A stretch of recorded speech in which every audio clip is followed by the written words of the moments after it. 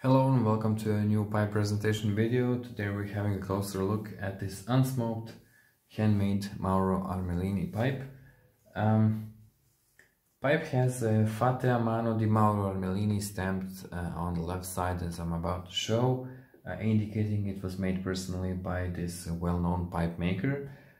Uh, it's a smooth finish paneled bent Dublin shape with a saddle stem uh, warm walnut stain, really nice flame grain on the pipe and it can accept 9mm filters. Um, it's quite simple but uh, still very attractive looking pipe.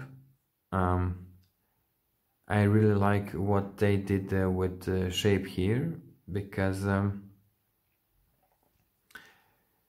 Its uh, its bowl is uh, pier-like, you know, and it goes quite well with the paneled shank. And uh, instead of going with some silver decoration, they just uh, stuck with this uh, discreet mixture of uh, vulcanite and uh, briar insert here, or just a it's just a vulcanite insert inside the shank. And um, Combination looks great. Uh, I'm showing it uh, right now like it's an estate pipe. I don't know why. Um,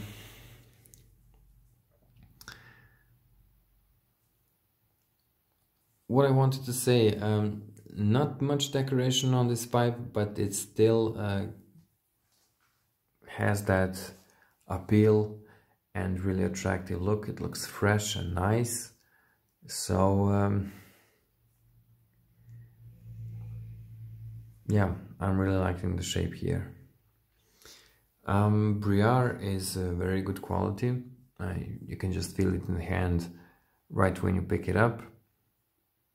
And uh, it's basically new old stock, um, just without a box and accessories. It's just a pipe and it's quite interesting because it has this inscription that it was made um, or stamping that it was made personally by uh, Mauro Armellini.